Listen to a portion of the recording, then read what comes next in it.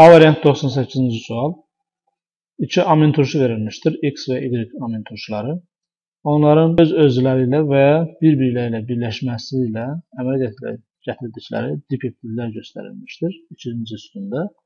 Və sağ tərəfdə isə həmin dipeptidlərin molyar kütləsi göstərilmişdir. Biz bilirik ki, amin turşular bir-biri ilə birləşərək dipeptid əmələ gətirərkən iki amin turşudan bir su molekulu ayrılır. Yəni e, bu amin turşunun dipeptidinin molyar kütləsi 188-dirsə, bu deməkdir ki, buradan hər ikisindən bir su molekulu da, yəni 18 qram da ayrılmışdır. İndi isə bizdə aşağıda X və Y amin turşularından əmələ gəlmiş dipeptidin molyar kütləsini soruşulur.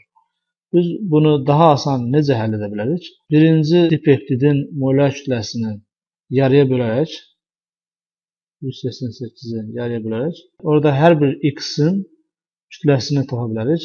Yəni su çıxarılmış halda kütləsini tapa bilərik. 94. İkincidə də yenə də y maddəsi üçün biz bir y-in kütləsini tapa bilərik. 80.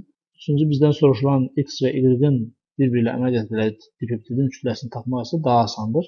Çünki x-in kütləsini və y-in kütləsini ayrı-ayrılıqda tapmışıq. İndi bunları toplamaqla onun molyar kütləsini tapa bilərik.